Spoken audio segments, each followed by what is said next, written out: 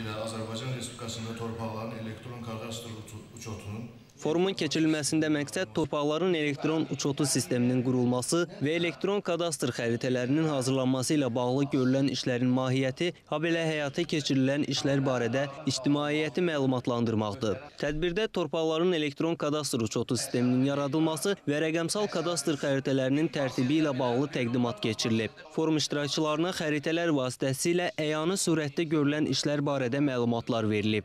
Torpaq fondunun dəqiq uçota aparılmalıdır.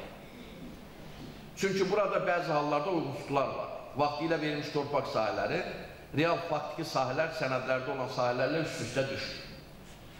Mütləq bizim bu torpaq fondumuzun dəqiq uçota aparılsın. Yəni kağızda verilir bir sahə, amma real fermer başqa sahədə işləyir hər sahə. Bax bu problemləri aradan qaldırmaq üçün biz artıq işlərə başlamışıq.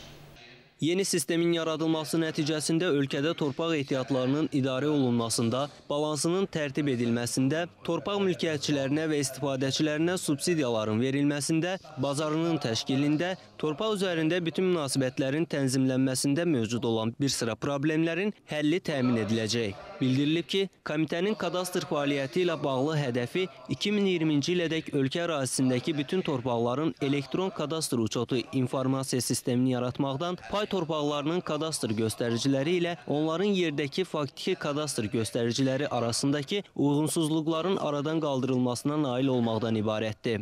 Tehran Orucoğlu, Məhərrəm Feyzullayev, Xaçmaz.